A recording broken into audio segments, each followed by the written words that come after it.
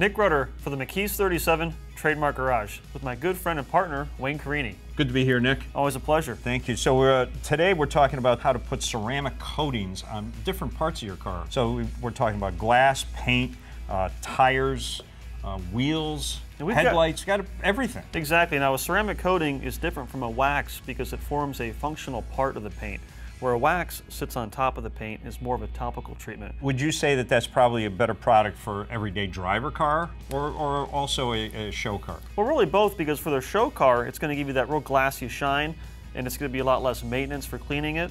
But for a daily driver that's exposed to uh, road salt and bird droppings and the sun all the time, it gives you the best protection.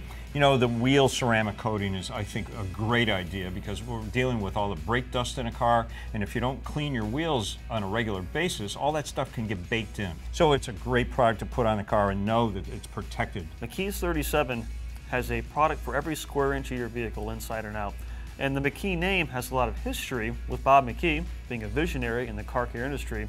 He's developed thousands of products over the years. So we've got something for everybody.